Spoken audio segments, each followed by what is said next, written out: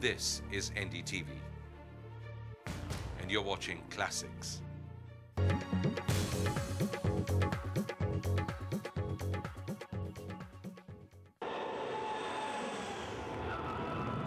the leader turns left, orders a change.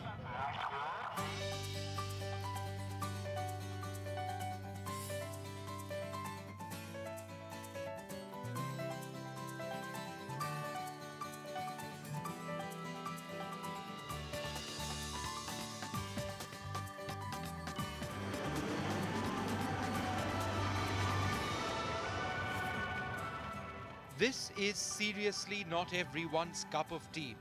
And clearly, it takes an element of madness to actually want to do something like this. But for the men flying these bright, in your face, orange colored jets, this is the definition of cool.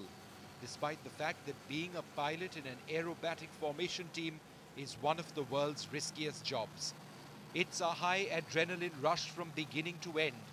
Each display lasts about 20 minutes. 20 minutes in which one false move, one tiny lapse of concentration, or one serious technical fault with the aircraft will almost certainly spell disaster.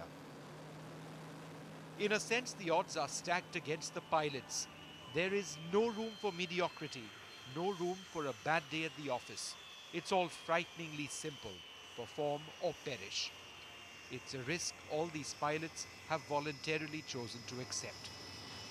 So, just what does it mean to be a pilot in the Surya Kiran squadron? Well, one of the first things that you learn is that there are no rookie pilots here in the Surya Kirans. All the pilots are qualified flight instructors.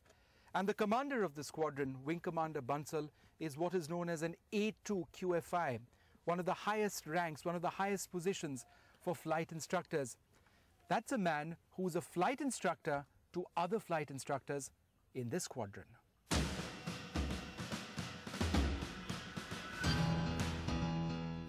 Bansal leads this team of what the Indian Air Force calls Air Warriors. But if you were expecting to come across Top Gun style fighter jocks who fly by the seat of their pants, think again. These men may live dangerously, but they are not suicidal. In fact, they're all cool professionals